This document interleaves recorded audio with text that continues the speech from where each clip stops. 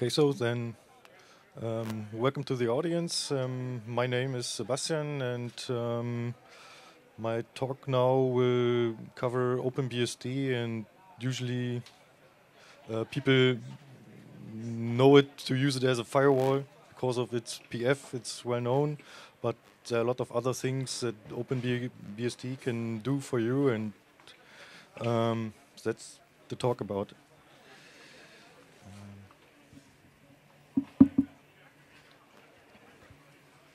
So um, I start with an introduction. I think the other ones are a little bit hard to read. Um, I'll first start with introducing OpenBSD, um, the crowd um, that's working on it, the developers, and um,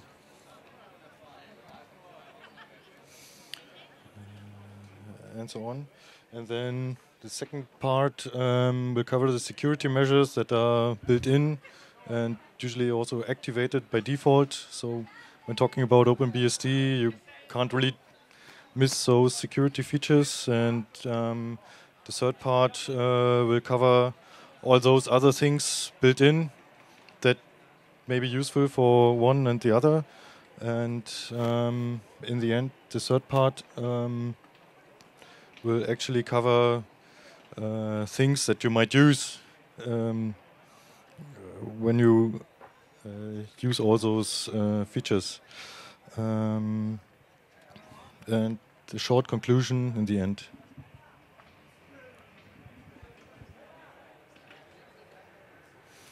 So I'm Sebastian and um, I'm an OpenBSD user since long time.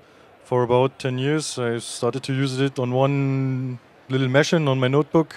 Um, but now here you see a photo from my rack in my room with a lot of different hardwares, um, ranging from Sun Enterprise server, SGI Origin cluster type, up to small old VAXstation 4000 or SPARCstation, um, and those things.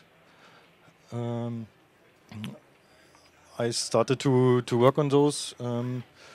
Since some months, I'm a developer working mostly on ports and having all those machines around that helps to get to find bugs and to get the ports running on the different types of machines. Um, uh, OpenBSD has its roots in the 4.4 BSD. It's in uh, multi-purpose, multi-platform operating system actually uh, from Unix-like. Um, the kernel, the drivers, the userland stuff, and the documentation is maintained together. And third-party applications like other daemons and uh, software packages is maintained via the prod system, and you can just install it like um, packages, you know, RPM or deb packages on Linux. Um, OpenBSD provides a release every six months, so it's not just like um, in other Linux distributions or so. It's postponed every time or so. You can actually count on it that in beginning of May and beginning of November there'll be a new release. Um, actually, OpenBSD supports 16 platforms, which is a long list which makes it to um, 13 binary architectures. Um, all this different support, also uh, all this supporting this, those different um, architectures and platforms, um, also helps uh, finding bugs and makes the software better. That about that I'll talk later.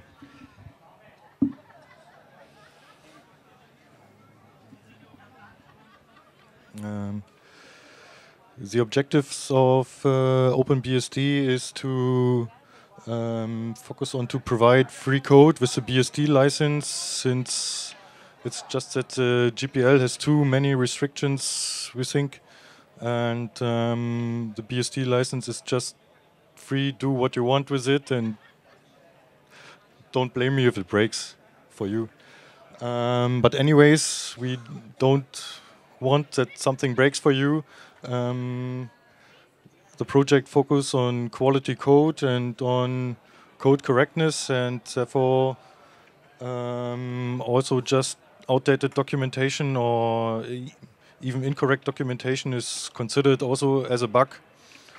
Um, OpenBSD um, is adhering to standards like uh, POSIX and ANSI, and um, but still there's room for interpretation in those standards to um, add more security than than you have when you just follow those standards.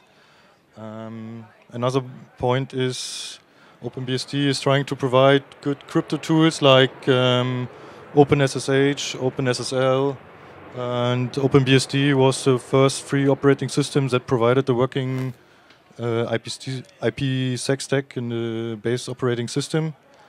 And as already mentioned, um, we are proud of the good documentation in the base system. So, and all those things together, um, taken together, is providing better security.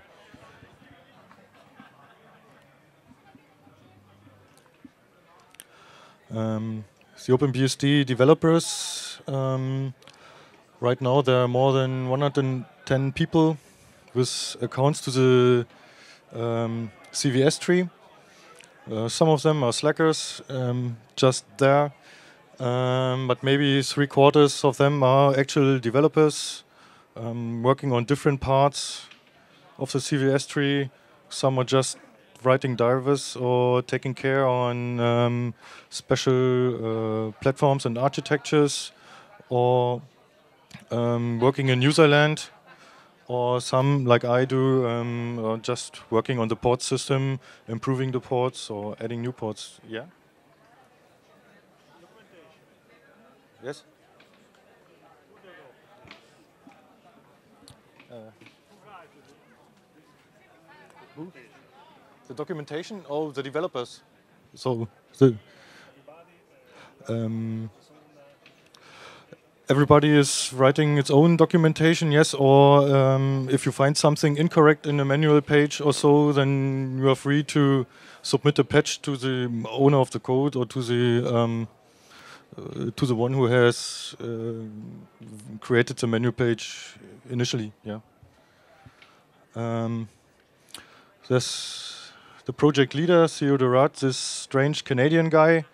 Um, maybe some people know or have heard the name already. Um, he's a fair and also strong project leader, and um, yeah, OpenBSD is not NetBSD, where everything is discussed till death. Um, at some point on OpenBSD, just Theo comes and says, "Okay, we are making it this way." When discussions get too long, and um, which is also at some point good because then things get done. Um, also, the developer crowd is um, maybe not well known for their warm and fuzzy people skills. So when you see the on the mailing lists um, how easy it is to offend people and start flame wars. Um, so it's also users are expected to read the documentation since there's much time and effort put into the documentation. So when you just come with dumb questions, you you should not wonder when you start uh, flame wars and get angry emails back instead of a helpful answer. answer. Um, the developers are located all over the world, um, having lots of different jobs, just like I am system administrators or um, running our own company and IT business and so on. Um, communication is done mostly via email. So there's a private um, mailing list uh, just exclusively for the developers where you can, when you have larger changes, um, you send in your patches or you discuss your design decisions beforehand, before you write even write patches and send them in. Um, other communication is done via email, just mostly person to person. When you send in patches to get a review, to get a to get comments or even an OK to check in the source. Um, otherwise, we use ICB. This is this old um, text chat or the pre-IRC era, era from the 80s. It's working fine for us.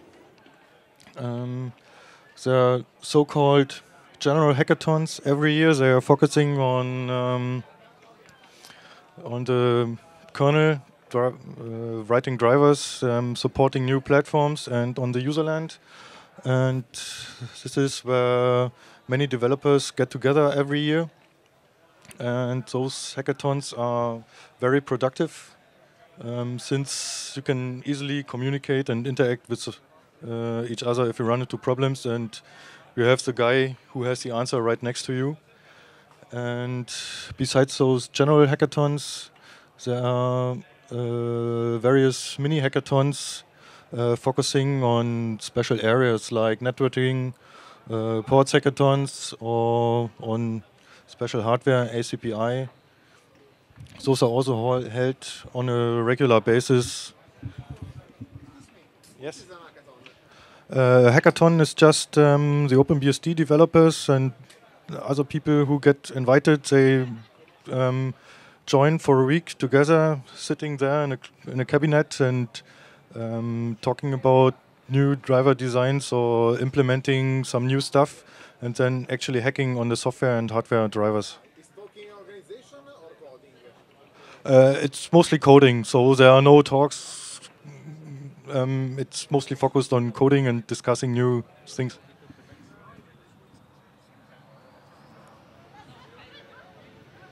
So um, the OpenBSD release cycle, um, as already mentioned, there's a release every six months.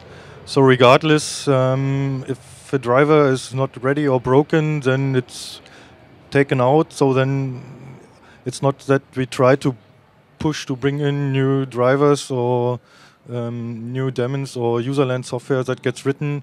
If it's not ready, then for the general purpose use, um, then it's taken out and need to wait for next release.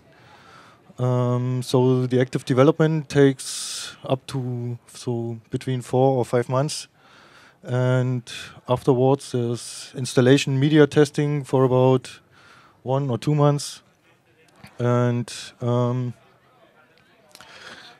when a bug is found or something really that hinders um, installation media to run or something, um, uh, in that time it's getting fixed and hopefully or some kind of workaround must be found to, to get it to work. Um, and, um, and install media and re uh, release testing starts again within the time, maybe two or three iterations until we are confident everything is fine. Um, so general testing of new uh, driver software, userland, and so on is actually done all the time. So every developer is more or less expected to run the code that they write, and so on. And also others are expected to to test and report problems to the developer that wrote the code um, to get them fixed. Um, so when install media testing is done, the release gets tagged and then the development uh, circle starts again from the beginning. Um, so the release is shipped to the CD factories and um, new CD set is burned. There's also um, the song of the release since a couple of years and a nice booklet. So so it's worth buying the CDs and um, also as a manager also you can count on the release cycle so every six months you get something new and um, also the uh, selling of the CDs is also used to fund the project.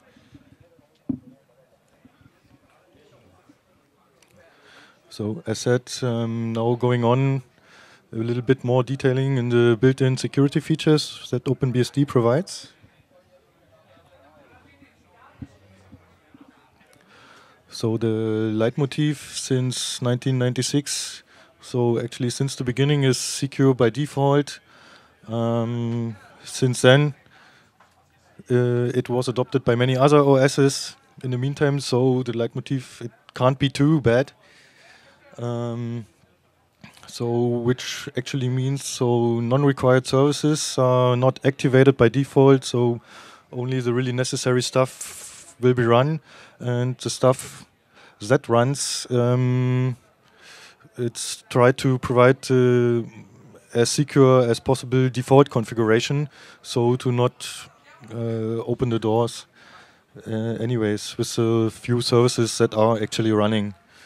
Um, so um, an administrator is required to activate all other services that he might need so that he's aware that he's doing the stuff manually and hopefully he's he's knowing what he's doing to not open holes again in it and um, with all this um, uh, principles following, um, it still tried to keep a working, so simple but even still functional and secure system.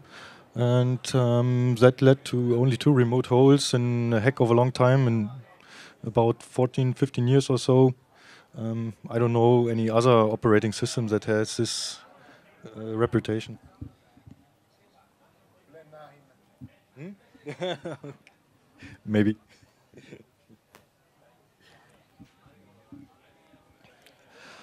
Um, so, as a developer, um, you have to follow some coding rules.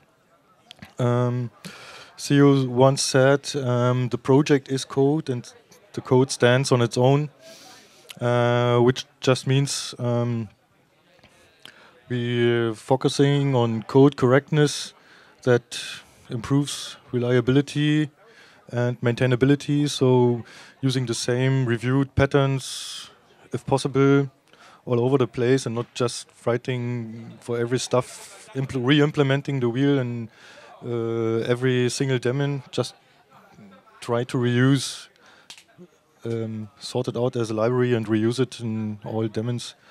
Um, always uh, beginning beginning in the design phase, it's important and also thinking that um, everything is designed as simple as possible. So um, complicated things are just um, introducing uh, probably bugs and errors made by the administrator.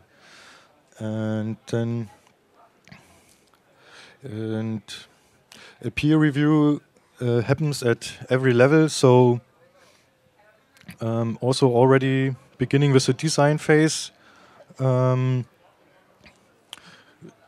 um, decisions are before a decision is made, uh, the design is discussed um, and reviewed with many people, and also afterwards, when it goes to the coding, um, before you check in something, um, it's at least reviewed by one or even better, more people.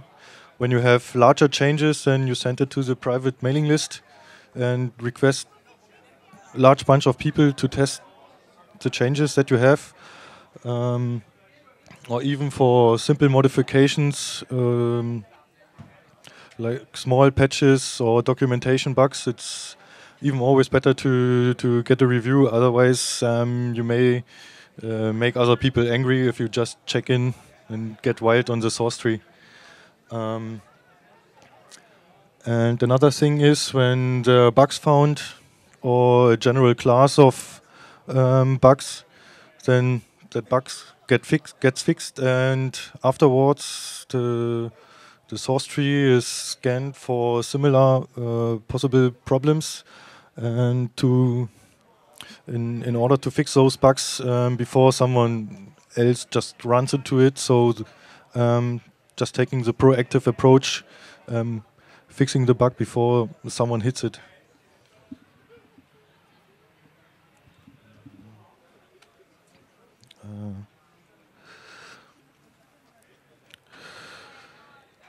So um, some built-in technologies for the security are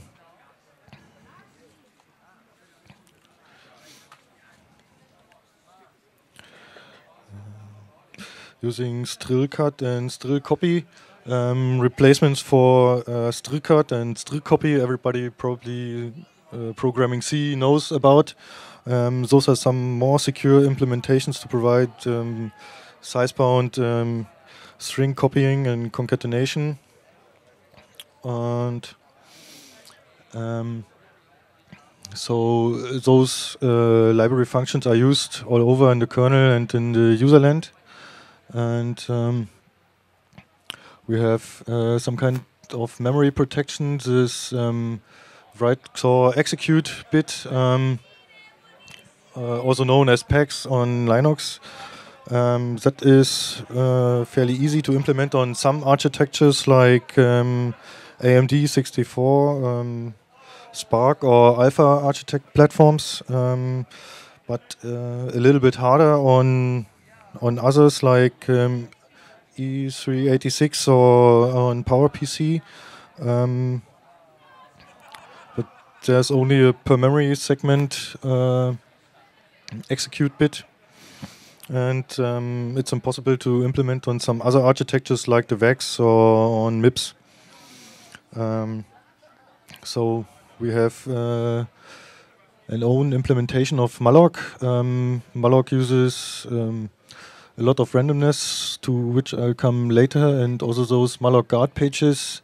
Um, the malloc guard pages are not enabled by default um, because there's too many buggy software that would crash and run into an abort trap, uh, um, and and therefore that that would annoy too too many peoples. But um, it's fairly useful, so many developers have it enabled. It would um, catch uh, uh, heap overflows.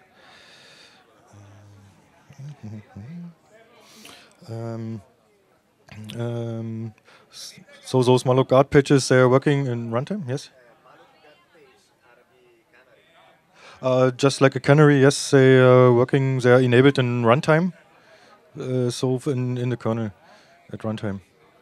Yes. Um, and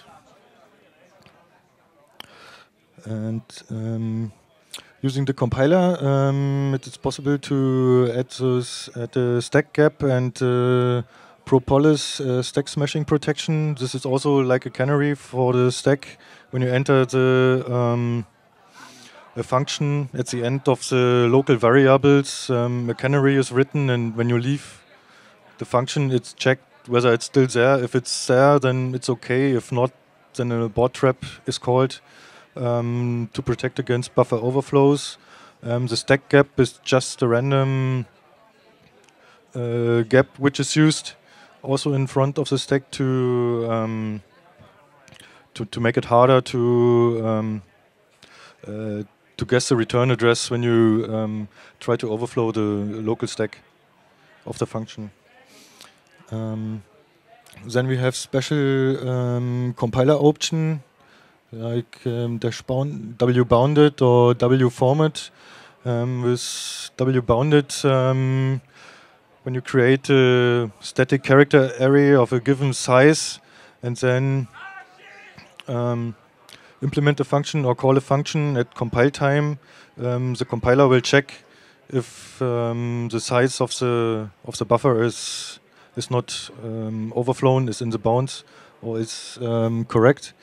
Uh, with the W bounded uh, compiler flag, and the W format flag is um, is the same for to protect uh, against format strings overflows. yes. And so and randomness is used um, all over the place. So the um, so first, for good randomness, it's um, it's important to have a good uh, entropy source. So um, I/O, keyboard, mouse, network, audio, and um, other hardware devices, uh, interrupts or so, are used to um, generate those random numbers.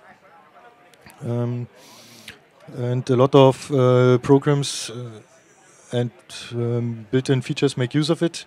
Um, there's a dynamic linker ld.so um, which uses randomness uh, in the way it um, loads libraries. So libraries are loaded in random order and also to random addresses. So um, that makes um, uh, return to libc attacks very much harder um, because it's then fairly hard to guess the right address because at every start uh, the address is different. Um, as already a little bit mentioned, um, malloc uses um, uh, randomness. So uh, with using mmap, uh, so um, on the heap. Yes. The malloc and mmap um, are using randomness on the on the heap when um, mapping new or allocating new memory. Um,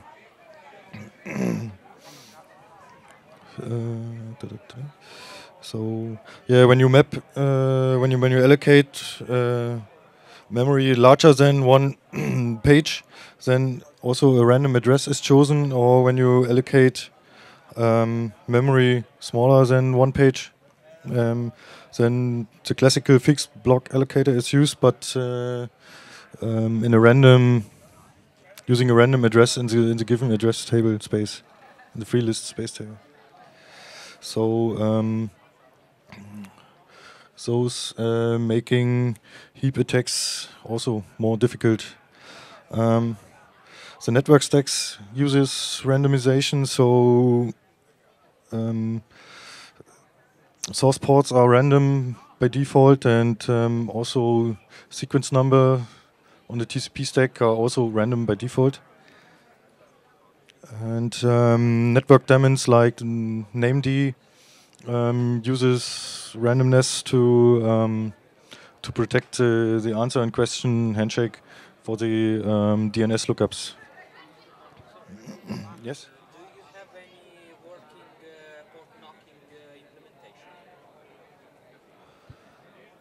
Um, no, not really, but you could. Um, there's not really port knocking. The, so there's there's nothing in the system itself. You could probably make use of the firewall and um, trigger something with scripts, um, or otherwise use um, authpf.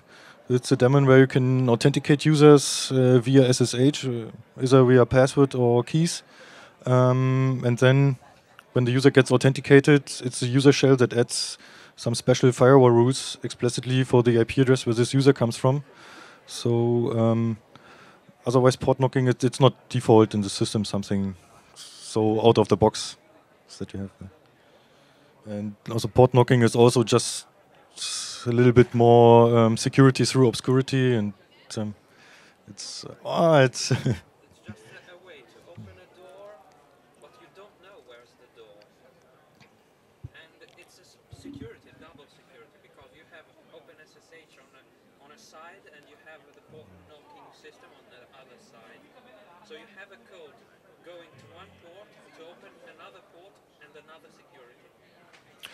yes, sure.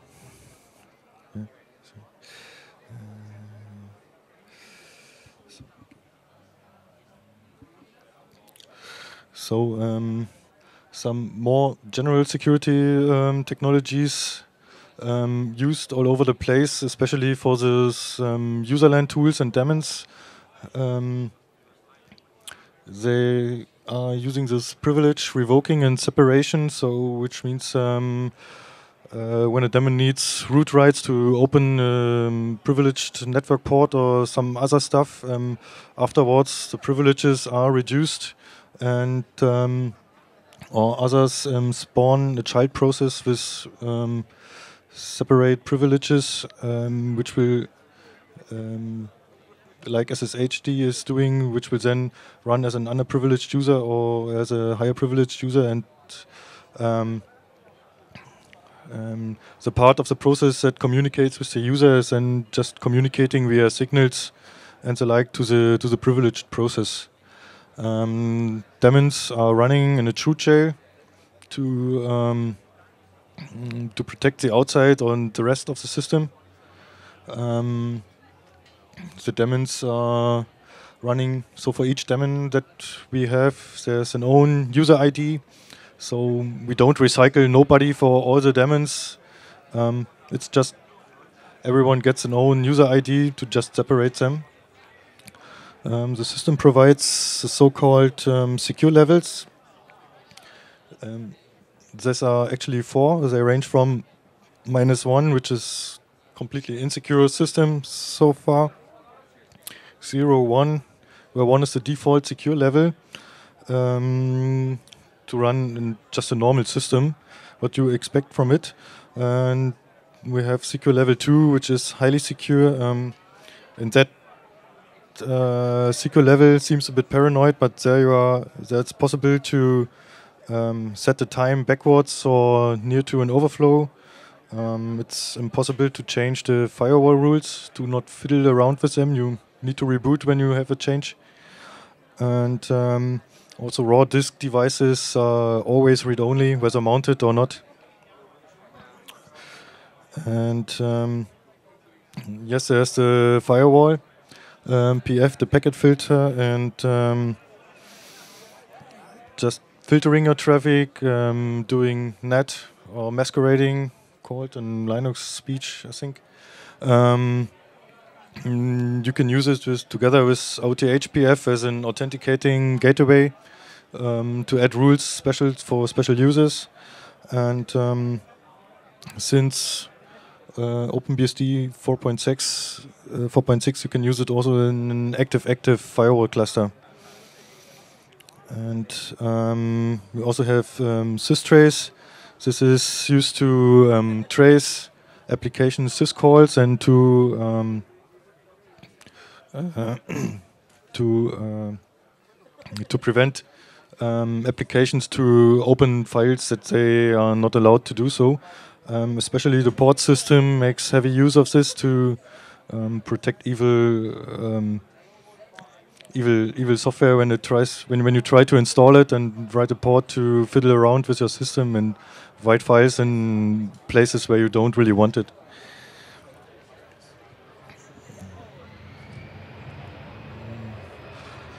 Um, so with all those security features, um, maybe still the question is there still something insecure? And um, when you see web browsers or multimedia viewers and players where you get just files from the internet and so on, and email clients, um, they are still prone to um, clickjacking, cookie stealing, and whatever you can think of. A special beast is the X11 um, graphical desktop server because it has to talk to the hardware somehow directly, so you can't. So it's hard to protect this one. Um, so it's not really fully protected. Um, so privilege separation and um, sandboxing would be some kind of a solution to this then there's still the problem how to handle sophisticated social engineering attacks. Attacks it's still hard, or to prevent the administrator to do dumb things like running a service without or dumb passwords and the like.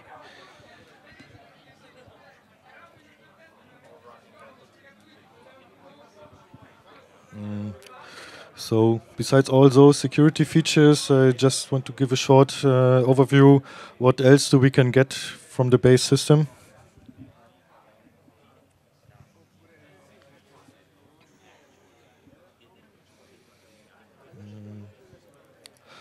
So um, in the base system that comes with OpenBSD, not including all those third-party um, uh, packages, there's a lot of um, you may want to run or you can run. Um, all those that um, are provided with the base systems. They run in a chroot shell. They follow the privilege separation revoking, as already said, have those separate UIDs. Um, there's the HTTPD and heavily patched Apache 1.3.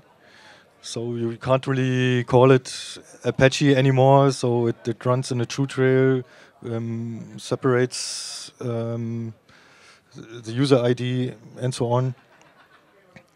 Um, also the named, it's a heavily patched bind 9 um, right now in the system, which also runs as an underprivileged user and um, in a chroot jail. LWD is fairly new. It will be in the new upcoming 4.8 release. Um, it's a small and clean well-written uh, LDAP daemon. It's not yet 100% feature complete, but you can at least already um, authenticate users against it. And so maybe as an alternative to uh, Open LDAP, if you don't need those uh, large bunch of features, then it's a small alternative uh, to use SMTPD or Sendmail that comes with the um, OpenBSD. Oh yeah, Sendmail, this old beast from the 80s with all those thousand bucks. Yeah, it's the code also got heavily reviewed, and it's in there since years, and um, it's also listen configured per default to to use for outgoing email listening on the local host, and so on. And even as said, it also it's also following um, all those base principles. So it's it's heavily patched with the um, code reviewed many times. And OpenSSL, OpenSSH, probably everybody knows it and uses it on its box. So the developers of those software are also OpenBSD developers. And um, there are a lot of routing daemons uh, in the base system, or BGPD, where I think tomorrow is a talk about BGPD. Not sure whether he will talk about uh, OpenBSD BGPD uh, also a little bit. Um, for ripd, OSP FD, um, BGPD since I think since 4.7 or 4.6 also knows um, MPLS VPN feature to um, run it in a more secure version. And we have multiple routing tables with uh, route priorities um, to really set up uh, fancy routings. And there's a lot of more stuff in it, like um, OpenNTPD, small NTP daemon. Um, so if you don't need uh, high precision, yes?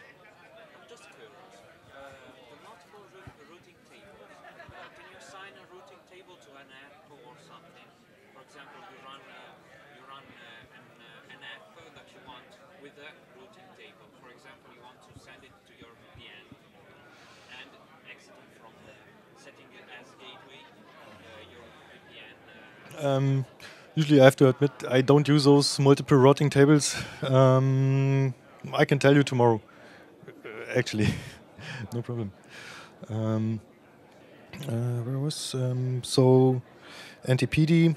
So a small NTP daemon. So if you don't need the very high precision timings like NTPD, which is a large beast and strangely to configure if you don't need all this fancy stuff, just an easily easy time source.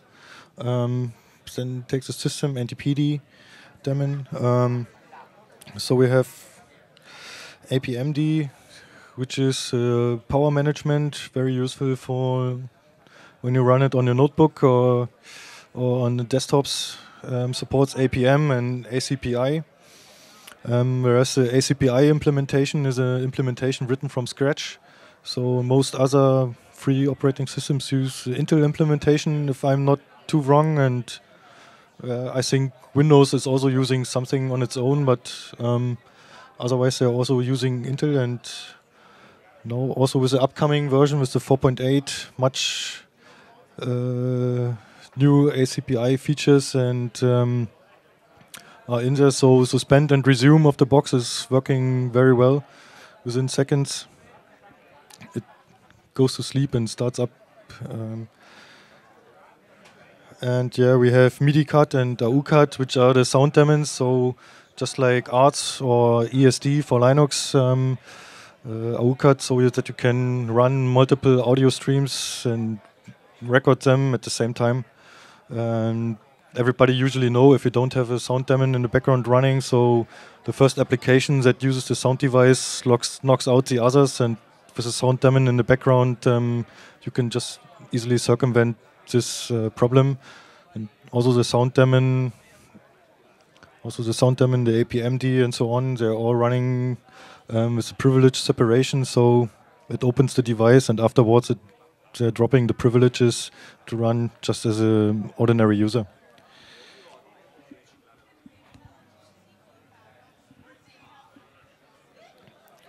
Yeah, so the current version of OpenBSD is um, 4.7, was released in May this year. So one of the new platforms supported is the Loongson. Um, that's that Chinese MIPS-like uh, thingy, those little notebooks that are around and very popular in Chinese. Those um, got supported as a new platform, and um,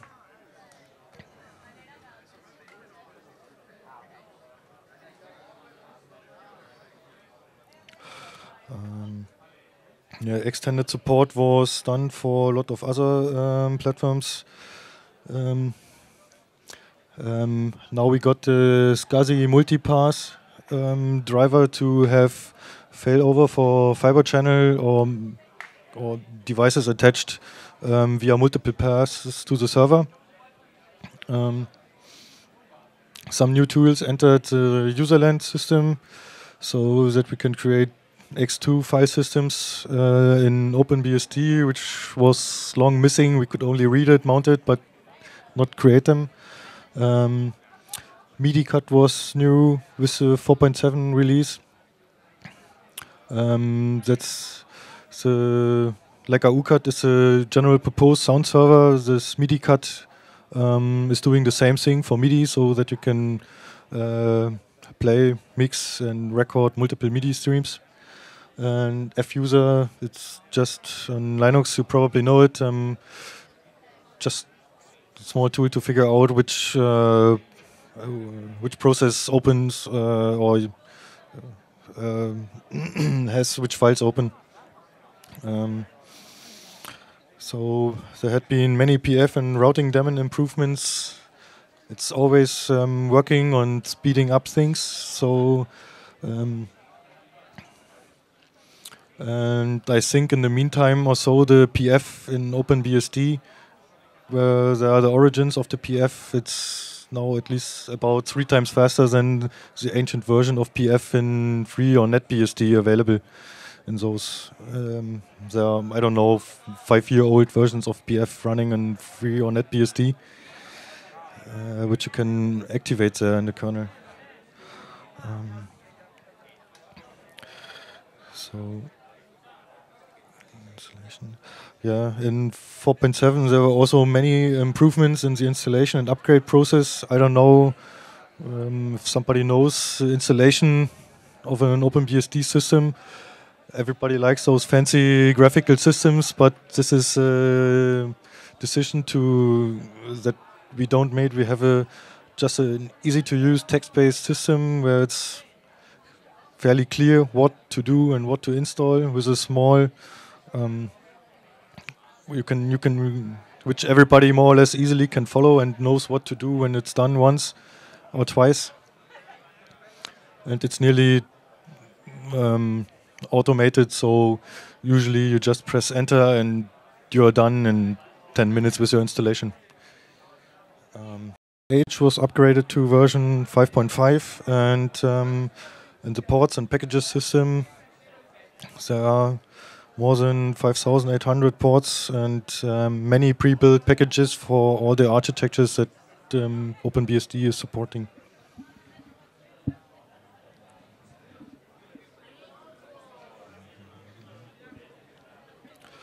um, the upcoming version, OpenBSD 4.8. Um, so the release was just tagged about two weeks ago or three weeks ago. It will be released in November um, on a couple of um, platforms we now use. We upgraded to GCC 4.2.1. Um, we use GCC um, 3.3, I think 5 um, on most of the platforms. Some older platforms still use GCC 2.95. So, like on the SPARC or on the VAX, you still have those old compilers. And on some platforms uh, left, there's still GCC 3.3 um, used as a default compiler. So, at least those platforms which still have GCC 3.3, it's planned then for the next release to also upgrade them to the um, 4.2. Um, why GCC 4.21? Um, it's the last one it's the last version with um, GPL v2, I think. Um, so the upcoming version, as already said, there are many new and even more ACPI improvements. So suspend resume is very well working, even on this um, tiny notebook here. So um, suspending and sending it to sleep and resuspending, um, it's just a, a, question of some seconds. Um, so they did a hard job and it's well done. Um, so new with 4.8 is multi-byte character support in glibc. So now we also have UTF-8 support in the glibc. That was also missing since a long time, but um, since it's hard to do it really right, so it was also hard to find a developer taking care of it to get this thing implemented. Um, Mandoc, um, it's developed by some NetBSD guys and uh, OpenBSD guys, and it's um, it's now used as default to to render the manual pages. Um, since the old Groff and nroff, um, it was full of bugs and slow, and um, the new written Mandoc is um, a lot of faster and cleaner uh, code-wise implemented, and um, I think also NetBSD is using it meanwhile, and in FreeBSD it's in the port system. Um, as already mentioned, the small LWD, it's not yet fully functional, but as I said, you can already authenticate users against the LWD. So if you don't need fancy replication or um, multiple trees and um, other stuff, or use it as a large address book for your um, uh, um, for your large user base or so, then it's maybe already something useful. Therefore, it's there. iked, it's an Internet Key Exchange um, version 2 daemon. Um, so before that, um, there was isakmpd. It's still there um, for the IKE IPsec key exchange version 1. This one is now um, doing um, Internet Key Exchange version 2. Um, so mm, many improvements were done in the um, sound servers, AUCAT and in the MIDI sound server.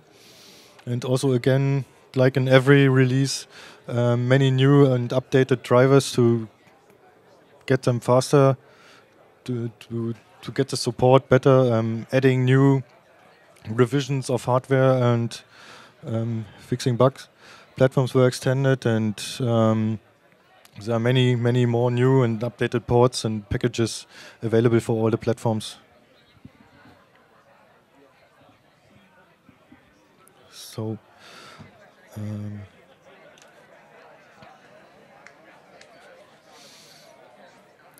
So a short summary, what do we have actually? So a more or less a fairly secure base system where you can count on the release every half a year. Um, there's a hardworking crowd which uh, tries to steadily improve the system. And so it's designed with security in mind first and then also keeping an eye on the use on the usability and maintainability from the administrative side. So we are proud of the documentation. So um, there's nearly anything in the manual pages, or we have this FAQ, where which is more or less the OpenBSD manual that you can look up uh, look up on the web. And the ports and packages, um, the ports infrastructure, um, the process of um, porting those um, third-party software and um, makes it easier to provide packages so the user are actually encouraged to use to download pre-built packages from FTP instead of building all on their own like um, you are maybe used when you're using um, what's it called Gentoo. Um, so um, and there are also many useful things um, other useful things in the base system besides the packet filter. Um, mentioned network daemons, um, a graphical display, which also supports 3D in the meantime, and um, power management, ACPI for your notebook stuff, and um, uh, development tools like GCC, Toolchain, um, Make, Perl is in the base system if you need that. So um, now some, let's go on. So what else we can do with the system, with the things that we have, what we, what we can do with it. So uh, yes, this slide is full, but there are a lot of things that you can do actually already with the base system. So besides the traditional usage as a firewall router, you may use it as a load balancer with a relayd or as an FTP proxy or as an high available active-active um, IPsec VPN server endpoint. Um, so you may use it to protect the.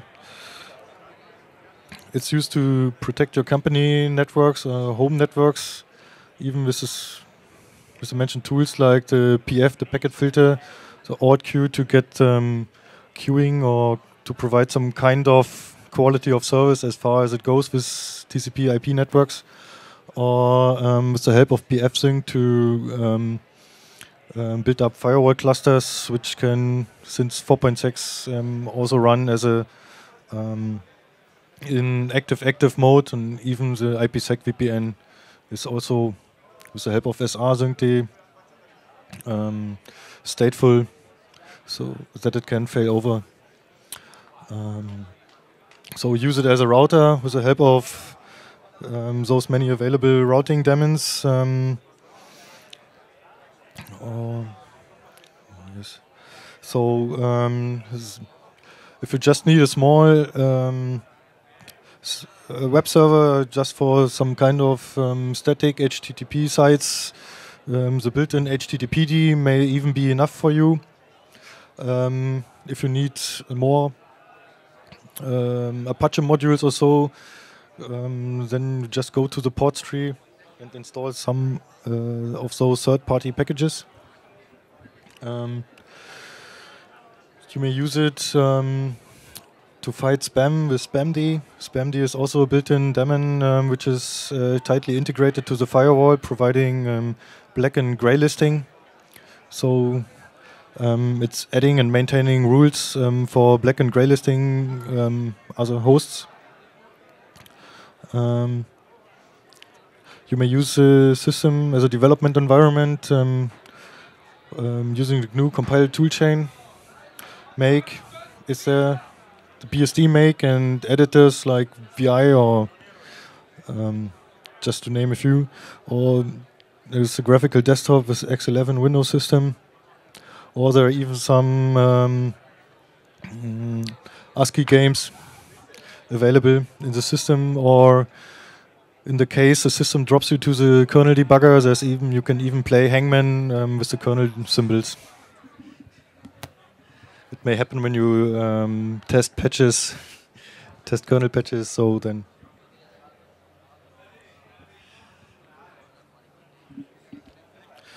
So if the stuff from the base system is not really enough, then you may take a look at the port system in those thousands of ports and available packages. So in case you need a communication system, there's maybe Asterisk is something for you, or there's a bunch of XMPP servers available for OpenBSD, like eJabberD, JabberD2, and um, OpenFire. Um, if you need something else, if the SMTPD or SendMail is nothing for you because it's um, too simple, it doesn't have the feature like the small SMTPD, or you think uh, managing, maintaining SendMail is too complicated, you better go with Postfix and just install it from the ports. It's just there. Or you need an IMAPD or Spam Assassin, ClamAV, Amavis to um, fight against spam and viruses and uh, other Trojan sources um, that you get with your um, to protect your mail and the mail clients in the end. Um, yeah, as already mentioned, if the plain HTTPD is not enough for you, um, you want some kind of OpenBSD, Apache, MySQL database, PHP or some other language running, then it's all there. So install a database of your choice, more or less. There's MySQL, Postgres, or you need user authentication, OpenLDAP. Um, there are additional Apache modules, many of them. That mod PHP and how they are all called. Um, so, or if you need PHP, Python, Ruby, there's much of it, and even more languages available. Or you need some um, kind of um, content management, and you may use Trac, Fossil, Horde, Zope, Drupal, just to name a few. It's easily installed um, from the base system and just working with uh, HTTPD from the base system. Um, or you need something else, just an OpenVPN or CUPS to set up a printing server or whatever you think it's probably there's a port um, for a server that you may need.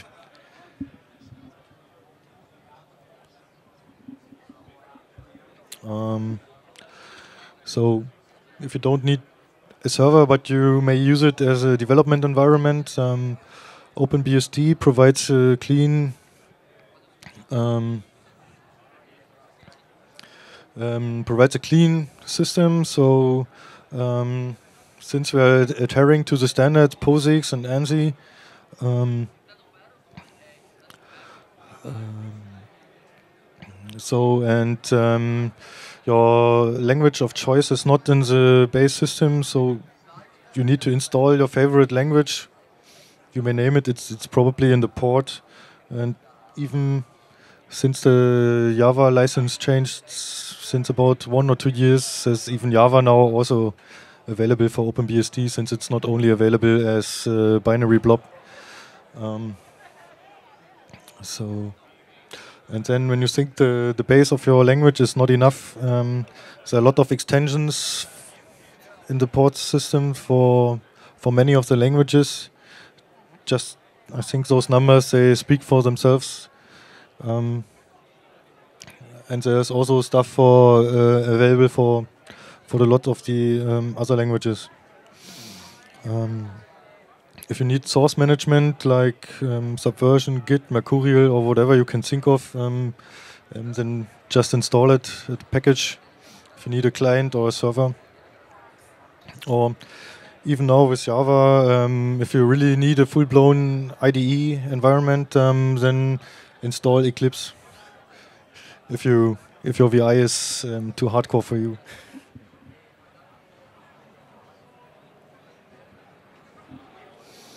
Um, with the help of uh, many of those um, built-in security features that OpenBSD provides, it's also possible for a security researcher and just when you write software to um, search and also find and bugs. Um, the compiler features, uh, especially when you try to port um, third-party software, you run into a lot of trouble. Um, when you enable those um, compiler features like the bounded and the format stuff, and um, um, when you try to compile then many software, the compiler will yell on you and you you have to check the code and probably found some bug um, which otherwise may be unnoticed for a long time on the different systems. Um, uh, the same goes um, for the malloc guard pages that you enable in the runtime environment. Um, for the address space policies. Um, and also, there's a lot of different architectures that OpenBSD supports. Um, it's um, uh, you often spot bugs in different systems because um, you have different endians, big endians versus little engines. You have um, signed um,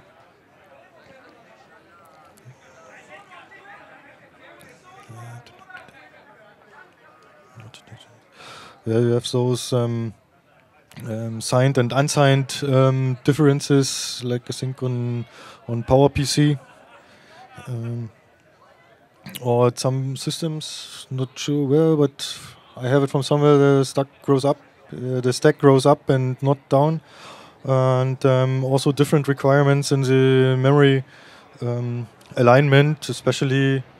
Uh, also, SPARC64 is such a piece where you have um, 64 big bit big endian um, memory and um, so also on OpenBSD a driver is not really ready if it doesn't work on the SPARC64 and um, so so uh, the architecture helps also find not only bugs in the kernel and in the user land but also when you run into third-party software um, it compiles well and works well on your Intel box, but then you try to run it on a SPARC or on MIPS64 or on the SPARC64 and it will just end in a bus error or segmentation fault and then you start to wonder and oh there must be something and you start the debugger and um, try to figure out what's going wrong.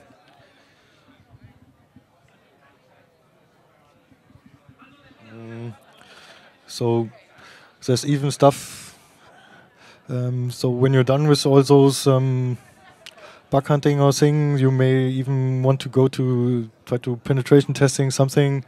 Um, there's a lot of security tools in the ports tree available that you need or maybe need and um, uh, just um, like password crackers or network reconnaissance tools like Nmap, Nessus. So um, script kiddie's heaven is there.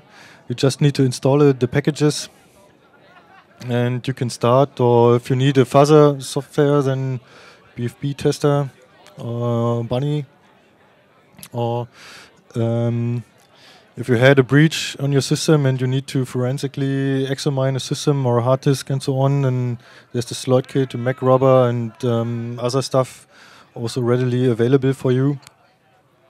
And um, as said, the categories network and security and system, they're really large. And uh, just take a look there, and you will find a lot more stuff that may help you um, doing network or system penetration testing.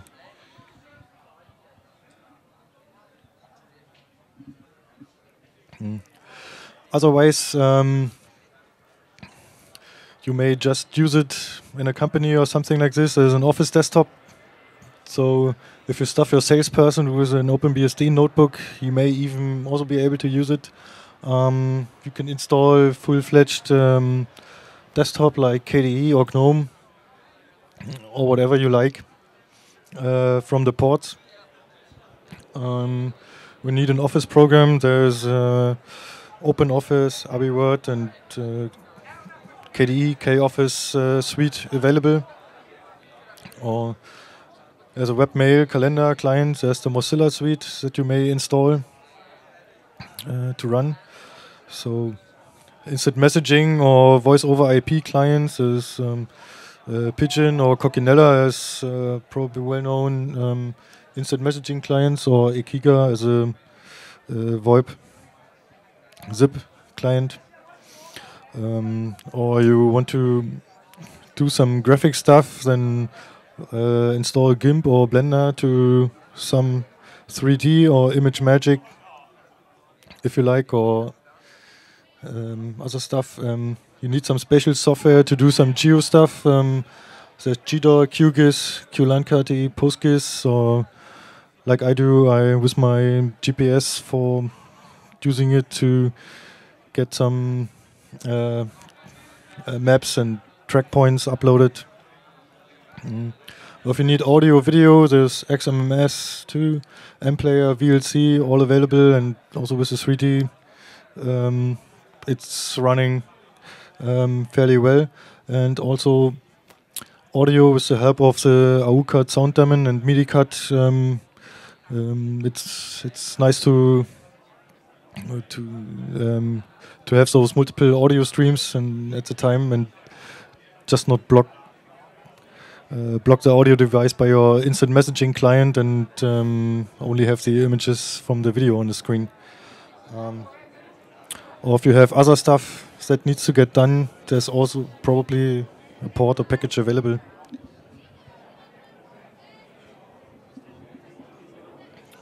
And after the always it, then you may probably want to have some slacking time.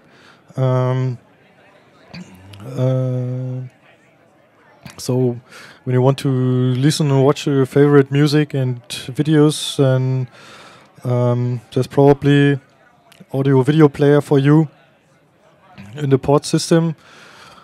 Well, there's no real good Flash uh, support since uh, Flash Player from from Adobe, it's not Adobe is not really supporting OpenBSD or actually any BSD. So you could try to get it running in a Linux emulation environment, but um, uh, but so Flash is not really there. But if you like YouTube, then there's Minitube, a standalone player that mm, actually got developed from some OpenBSD developers, which is available in the ports to mm, just for the YouTube purpose. yeah, or if you if you want to enjoy the 3D capabilities, um, you can install some just some 3D first-person shooters if you like, and play Quake Open Arena Heroes and all those other stuffs. If you have bought the CDs um, to get those uh, to get the files needed.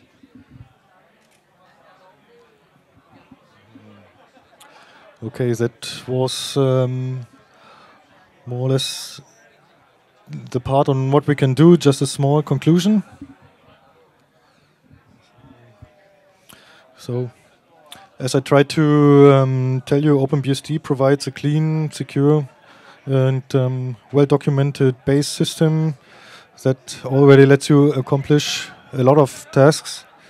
Also, probably many things I haven't talked about because I just forgot or never had the, the need to do so. Therefore, I didn't really look what it really can do for me. Um, so there's a hard-working crowd of developers that um, that's trying to keep it um, trying to keep it that way and to um, provide a simple and secure system. And for a lot of other tasks, is a, there's probably a port or package, or even a package um,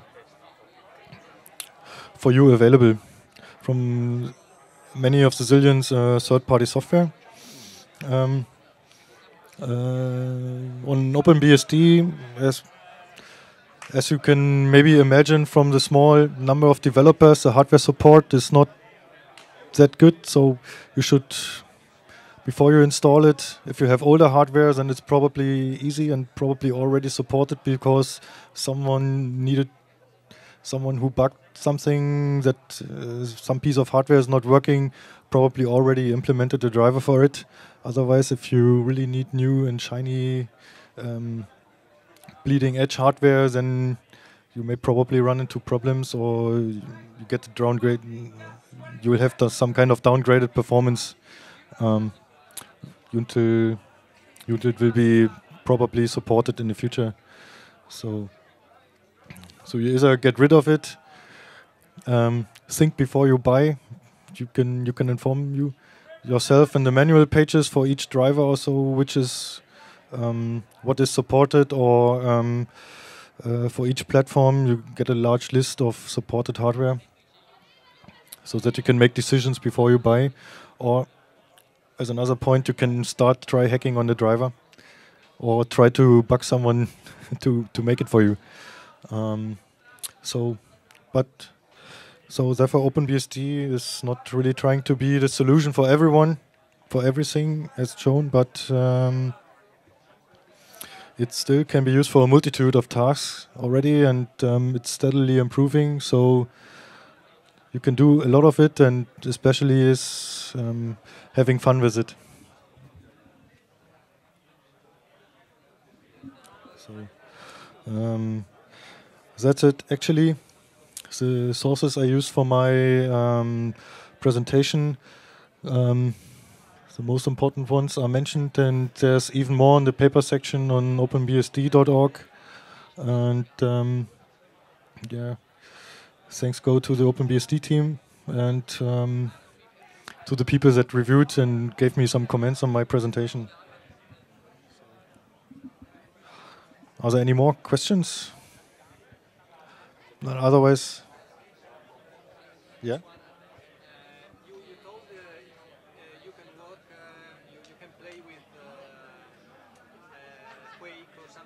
Yes.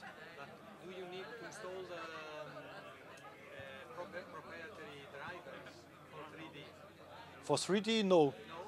No, so Intel is very well. So um, Intel is very well supported. Yes, um, Nvidia is. Um, they don't provide um, documentation and so on, so therefore it's not. But I have Intel here, and so it's just the processor here of my little notebook is a little bit slow, uh, but Quake is working fairly well, Quake 3, but but I can play Open Arena here, so even on my with the 3D capabilities of my Intel card here on my little, I think 1.2 gigahertz processor here on, on the little notebook, so it's it's fine. You need you need the proprietary um, data files for the levels or so for some games, but other games like Open Arena you can just install install the package and start playing. So.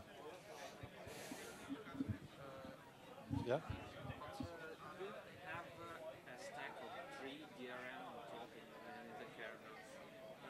Yes. that the X11 uh, drivers are the same that you use uh, from the repository. For example, you have uh, uh, you have the same drivers that the Linux guys use, or not? Um, um, the X11 tree, um, so it's actually it's it's heavily patched, and especially also the drivers. So um, X11 also uses it's patch to to to run with privilege separation, um, especially. So there's a root process communicating with the hardware, managing the drivers in the background, and then um, then it's communicated. So I'm not an Xorg developer, so but I think it's communicating also just via signals and the like with then with the part which the user controls and has an action. So um, as I already mentioned, X is X is hard to really to secure it because it needs this interaction with the, this direct interaction with the hardware. Yeah. Yeah, yeah, yeah, yeah, yeah. It's a huge and massive and source tree, and all those packages are released, and parts of it are just released independently, and and the guy and those guys taking care about the X11, they they really do a hard work to to, to keep it clean and um, support and um, running on on OpenBSD. Yes. Is there any plan to port Gallium uh, on, uh, on BSD kernel? Uh, Gallium. Gallium is a new library, a new library for 3D. 3D. Hmm. Um, I have no idea.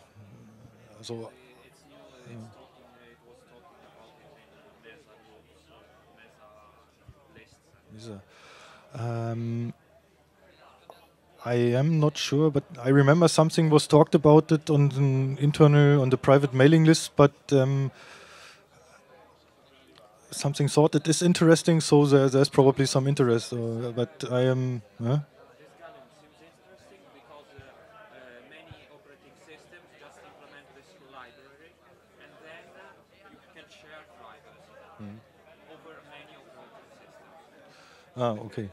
Yeah, yeah, something. So I remember some some weeks or so ago. I, I think there were some mails on the internal mailing list, but I'm not sure about whether it's really considered to um, to port this later on.